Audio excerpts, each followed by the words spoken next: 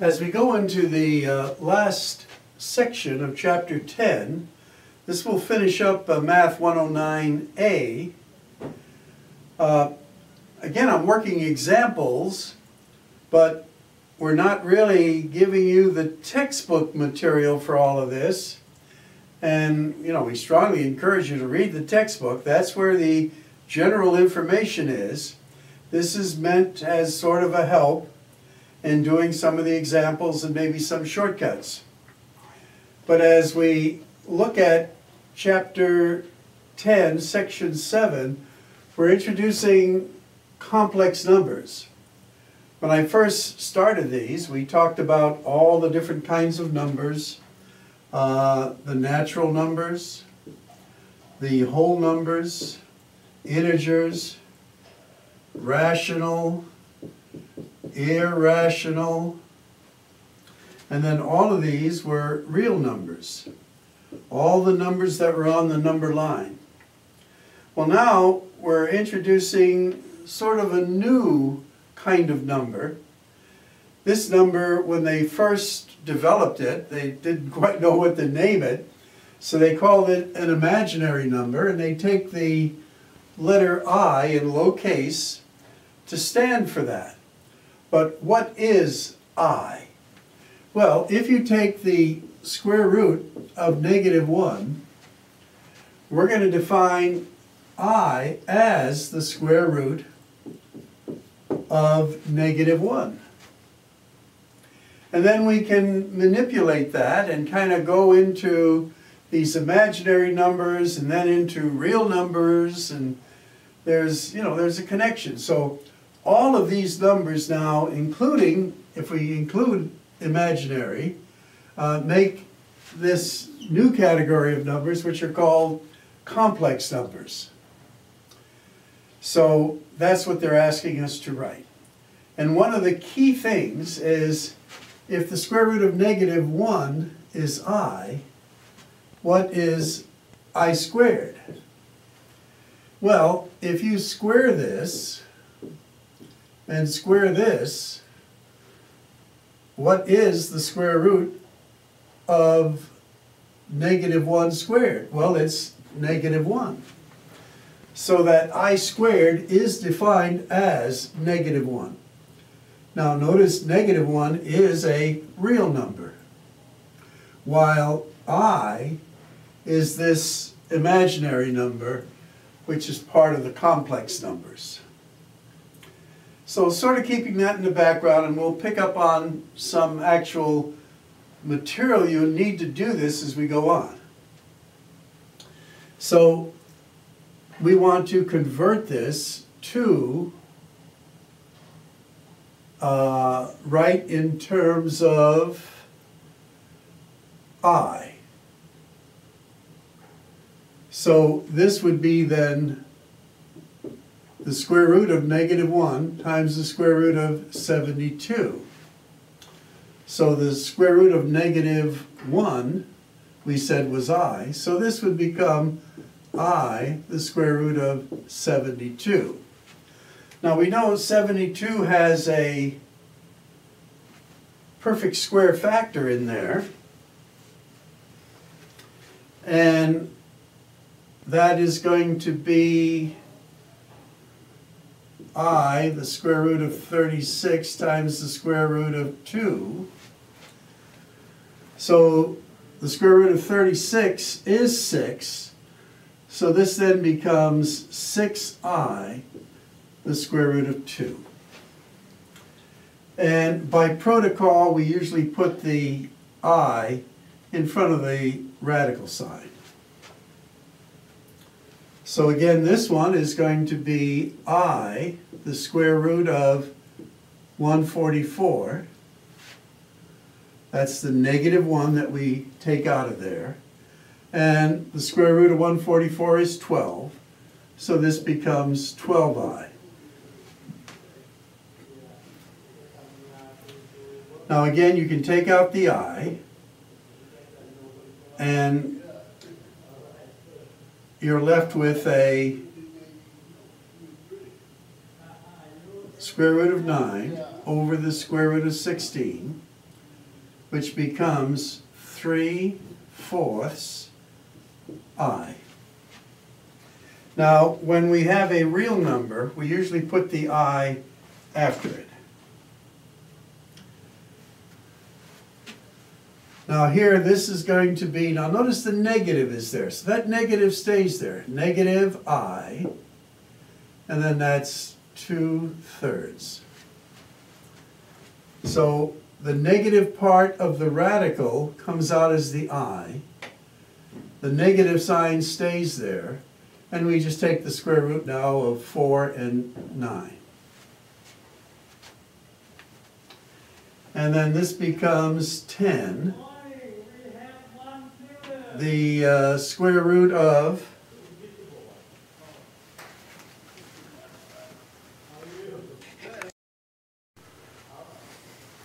Well, we just had some uh, other tutors come in, so I went out to greet them for a moment. But we're on number five. Again, this is going to be 10, i, and then what's under the radical sign is 48. So we know that there's a perfect square factor in there of 16 times 3. So this 16 comes out of there as a 4. So 4 times 10, 40i. Make that more pretty there. The square root of 3. Again, there's lots of things that we are bringing into this from previous lessons, but the key is if you have a square root with a negative sign, now we can actually work with it. We define it as the letter i, and i squared we're going to define as a negative 1.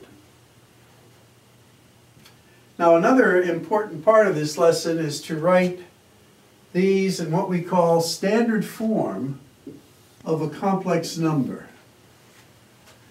And that's where A is the real number part, and the BI is the imaginary part. And again, B would be just a regular real number, but when it's attached to the I, it's imaginary. And then together in this form, it is a complex number. Now, generally speaking, just like we were rationalizing the denominator, we don't want to have i in the denominator. So what we do is we multiply i by its conjugate, which happens to be a negative i.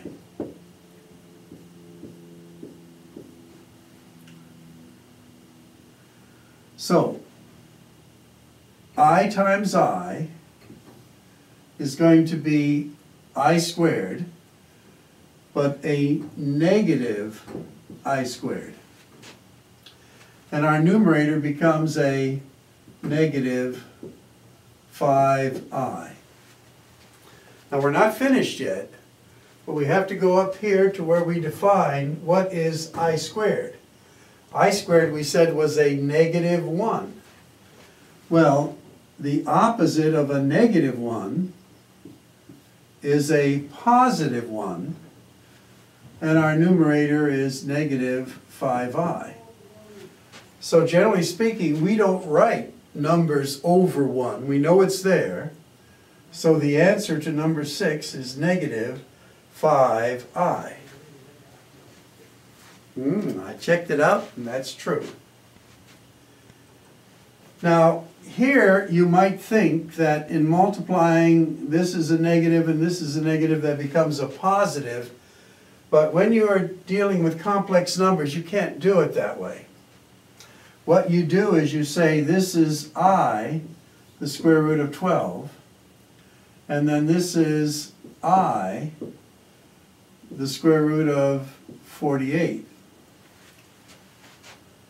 So now when we multiply i times i, we know we're going to get an i squared, which is a negative 1. And we know this is 4 times 3, or 2, the square root of 3. and then this is sixteen times three. So this would be four, the square root of three. And we now know that we have two times four is eight. The square root of three, which is the square root of nine, which is three. And then don't forget we have i squared, which was a negative one. So for number seven, after all of that, it ends up being negative 24. And that's correct too. Okay, so we're starting complex numbers. A few more things I want to show you. We'll get to them shortly.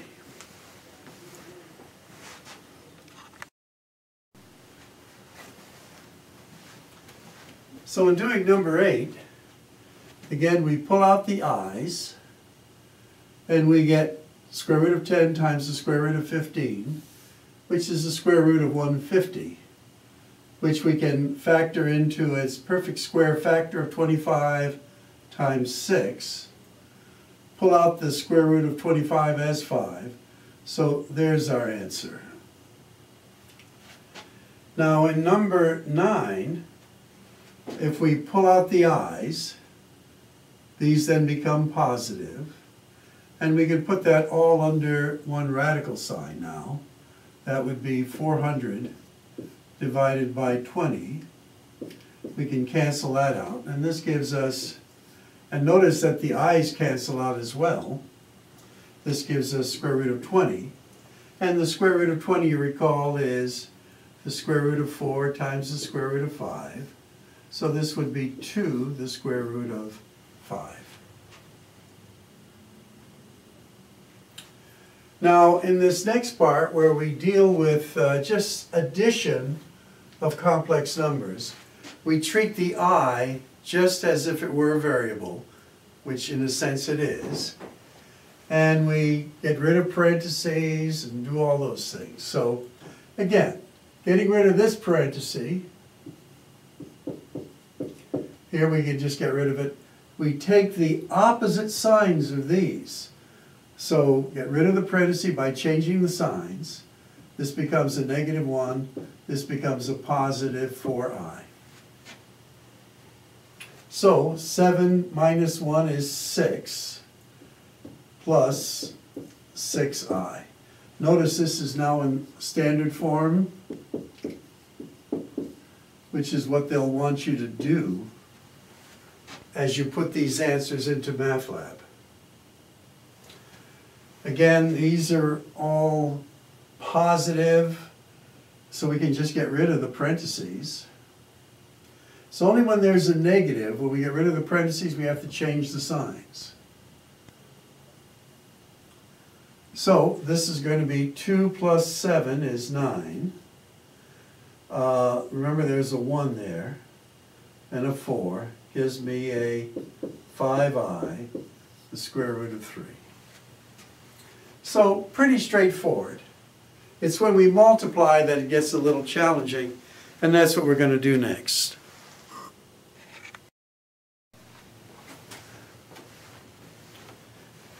Okay, here is a multiplying a monomial by a binomial. 21i minus 35 i squared. Now, whenever you multiply and you get an i squared, you have to convert that i squared to a negative 1. So this then is a negative 35 times a negative 1, which will make this a positive 35. And if you put that answer into MathLab, they're going to count it wrong because it's not in standard form. So to put it in standard form, just switch them around. Okay? Now here we're doing the FOIL. First, 18. Outers, inners, last. Now again, you could do the outers and inners mentally, but it's okay to write it out. And keep in mind that this is going to become a negative 10 times negative 1. This is going to become a positive 10 because of the i squared. Now we add these two together. This gives us 28. And then we add these two together and we get a positive 24i. And notice it's now in standard form. All right, this one is that special technique again. Square the first term. Multiply these two together, that's a 35i. Double it. And then square the last term.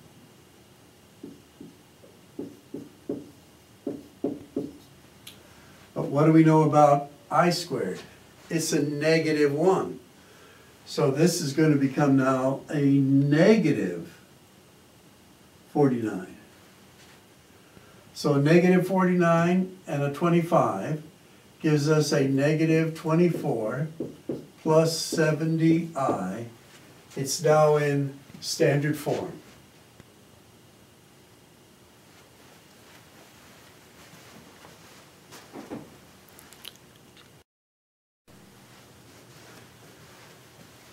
Okay, here we're dividing and we want to get rid of any imaginary numbers we have in our denominator.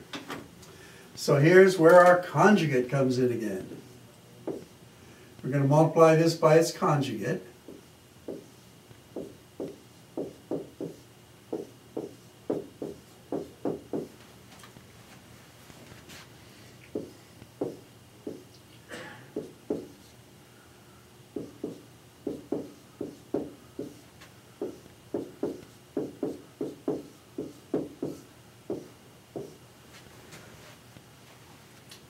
And be sure it's in standard form. A plus BI. So this is going to be 36. This is going to be a negative 4i squared. But we know the i squared is a negative 1, so this becomes a positive 4. So 2i times 2i is a negative 4i squared. i squared is a negative 1. It makes this a positive 4. And this becomes 24 minus 8i. Now, again, you're not there yet. Uh, this bottom's going to become 40. And my numerator is going to become uh, 24 minus 8i. And you might say, oh, can't you do some canceling out there? Yeah. But uh, a good way to do it would be is to put that 40 like this and the negative sign right there. And now you start to cancel out. Well, you can take a 2 out of there, and that becomes uh, 12. Or I guess I can take a 4 out of there better. So that's going to be 6 over 10. And it looks like I could take a bigger number out of there. 8. And that becomes 3 out of 5, yes. I probably should work these out ahead of time. And then here, this is going to be a negative one-fifth i. Now, perfect form, standard form, and uh, that's how we got it. Okay, this one is going to be negative 2 times negative 2 is a positive 4. This becomes a negative 25 i squared. which makes it a positive 25. So negative times negative makes it a negative 25i squared. But i squared is a negative 1. So this becomes a positive 25. And then we do our FOIL up here. This will be a positive 8. My outers a negative 20i. My inners a negative 14i. And my last a positive 35 i squared. But we know this is going to be a negative 35. I squared is a negative 1, so we can just save a little rewriting here. So this bottom now is going to become 29. This is going to become uh, negative uh, 27, I believe. And this becomes a negative 20i. And that would be good, except it's not quite in standard form. For standard form, we have to put this over 29 and this over 29. Put the minus sign right there. And we can put the minus sign right there too. And I believe that is correct. Let's check it. Number 17. Well, this part's right, this part's off here a little bit. Oh, 20 plus 14, how about being a negative 34? There we go. Again, check your work. It's easy to make little errors here. Apologize for this one here. Okay, we'll try one more.